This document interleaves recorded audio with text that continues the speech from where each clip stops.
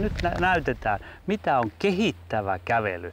Ja se poikkeaa tästä äskeisestä siinä, että sä pyrit ottamaan 10-15 senttiä pidemmän askeleen. Ponnista ja sitten käsien selkeä rytmitys normaali iltapäiväkävelyyn verrattuna mukaan, jolloin me saadaan siihen tehoa jalkojen kautta ja ylävartalon kautta. Että se on aktiivista kävelyä. Kyllä. Joo. Ja tällä on tarkoituksena kävelyssä tehdä sama, minkä moni tekee juoksussa. Joo. Aeroobinen, peruskuntoa kehittävä harjoitus.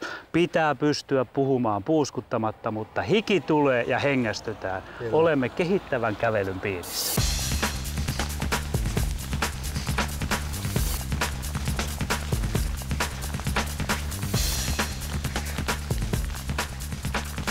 Ja nyt Janne tulee ylämäki, hartiat rennoiksi, mutta kädet tekee silti terhakkaasti töitä, että päästään ylös.